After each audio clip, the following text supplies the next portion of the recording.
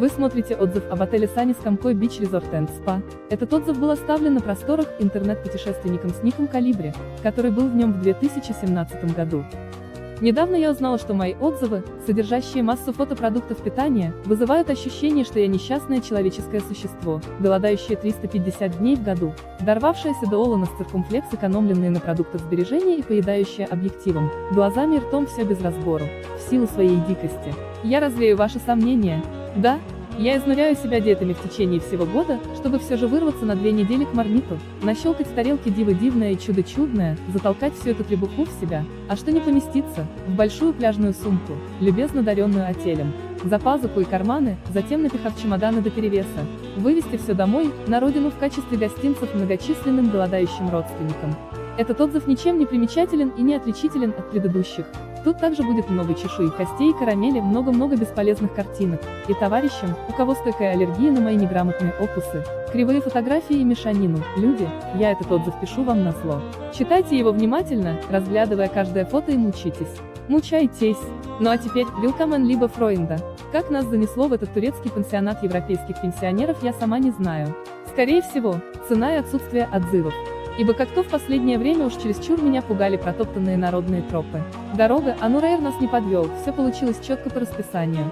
Салон опрятный, расстояние между креслами терпимое. Третье кресло было свободным, следовательно полет был просто отличным. Еда в виде булки с чаем, заселение и номер. В отель мы прибыли общим трансфером от Топигаз Туристик. Время в пути не засекало, но нас знатно покатали по всем деревням региона Сиде, из окна автобуса едва не сломав шею, разглядывая третью, пятую и восьмую линии, возведенные за время нашего отсутствия в этой части курорта, шептала красиво. Грандиозно, богато. Но черт, где же тут море? Подъехав к отелю, немного скривились, фантик нам не понравился. Здесь никто не встречает, белбой даже видя вас в дверях не пошевелится на своей тумбочке. На рецепшн нас приветили каменным, без улыбки бутенмаргеном, окольцевали и отправили на завтрак, ничего не пообещав. Но мы как-то и не особо рассчитывали на раннее заселение.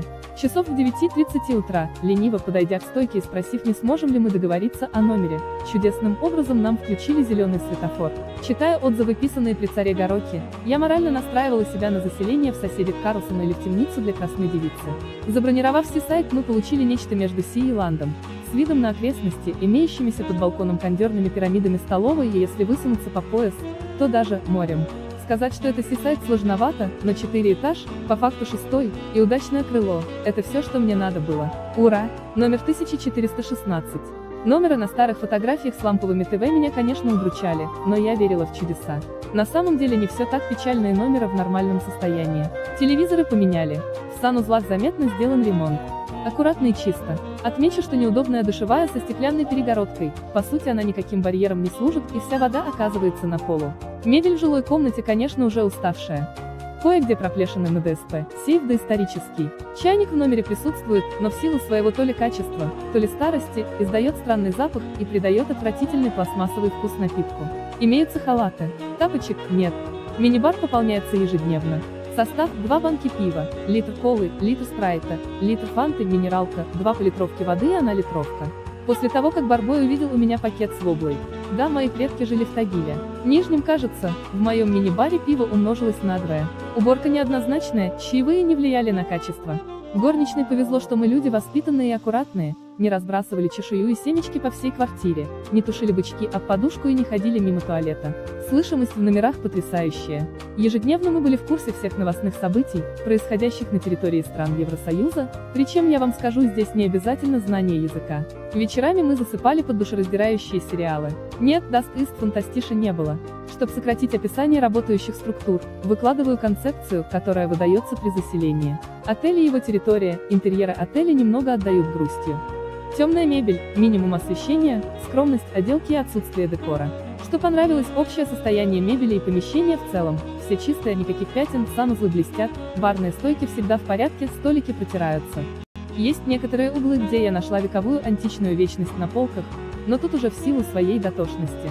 Не буду портить общее восприятие. Услугами спа не пользовались, ограничились бассейном в силу погодных условий. Вообще, забежав вперед, хочу похвалить сервис и персонал. Я заранее себя настроила на то, что мы, русские, не совсем желанные гости в немецких резервациях.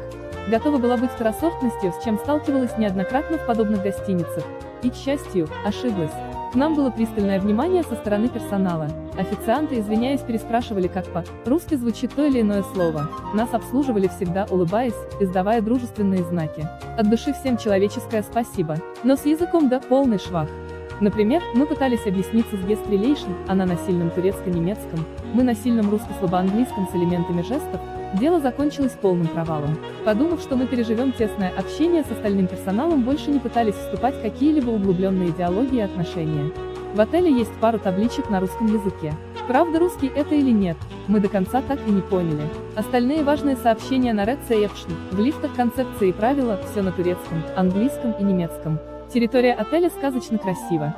Видимо надоели мне лысые отели и понесло меня в джунгли.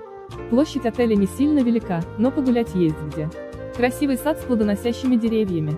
Мостики, бассейны, территория пулрумов, искусственный пруд. Все гармонично вписывается в картинку. У мини-клуба есть детская площадка и два детских бассейна. Про мини-клуб сказать ничего не могу. К сожалению, выросла из него. Территория и в непогоду по-своему красива. На территории очень много кошек. Много толстых откормленных особей, лениво дефилирующих по дорожкам и бутающихся под ногами. У второго корпуса есть кошачий домик. Кошек кормят хорошо, но это им не мешает голодным взглядом жалобно смотреть на отдыхающих, обедающих в снике основном ресторане на террасе. Самые смелые запрыгивают на стулья и просят лапками. То есть тем, кто равнодушен к этим пушистым наглецам, отель стоит забыть и не рассматривать. Собственно, коты. Окончание отзыва вы найдете по ссылке в описании под этим видео. В описании к этому видео есть ссылка и на другие отзывы про этот отель. В нашем туристическом агентстве вы можете без лишней переплаты заказать тур в этот и другие отели. Пожалуйста, обращайтесь, всегда рады вам помочь.